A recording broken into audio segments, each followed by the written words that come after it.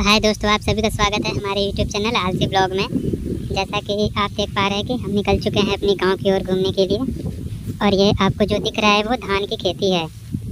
जून से जुलाई तक ये खेती की जाती है धान की। और अभी अभी फ़िलहाल ही कुछ दिन पहले ही ये धान रोपी गई है।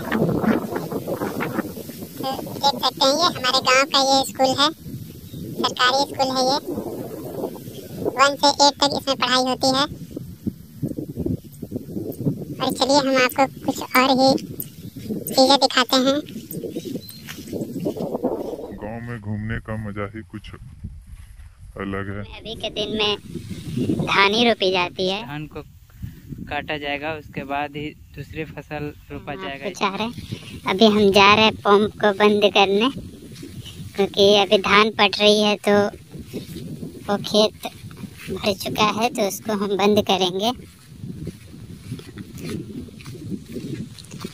आप सभी देख पा और इसमें मेहनत भी बहुत लगती है। बहुत मेहनत लगती है। तब जाके चावल बनता है ये।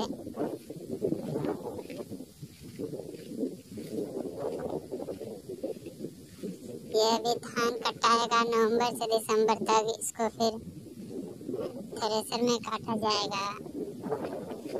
उसके बाद मशीन में इसको कूटा जाता है। तब जाके बड़े बड़े शहरों में इसको सेल किया जाएगा। देख लीजिए, मोटर है। देख सकते हैं गाइस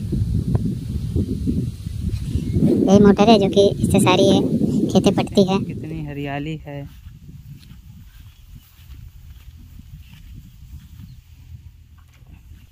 गाँव में घूमने का बात ही अलग है गाइस देख सकते हैं। ये मोटर है। जो कि ऐसी से खेत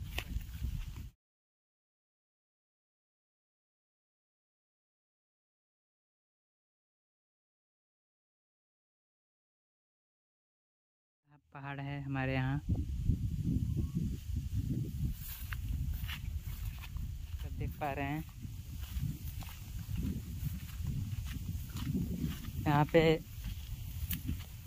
ये देखिए कितने सारी मोटर है जो कर लिए हैं ताकि उनको धान ये हमारे गाँव का पहाड़ है। कुछ दिनों के बाद ये जब धान कट जाएगा तो फिर इसमें बहुत लंबा में खीरा रोपा जाएगा, करेला रोपा जाएगा, नेनुआ रोपा जाएगा। यह जनवरी से फरवरी तक ये रोपी जाती है। और उसका भी प्रोसेस तीन महीना का लगता है, जो कि पूरी तरह से निकलने में। मई तक करेला निकल जाता है, मई से जून तक। देख सकते हैं ये।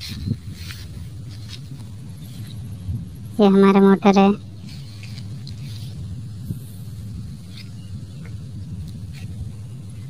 देख सकते हैं गाइस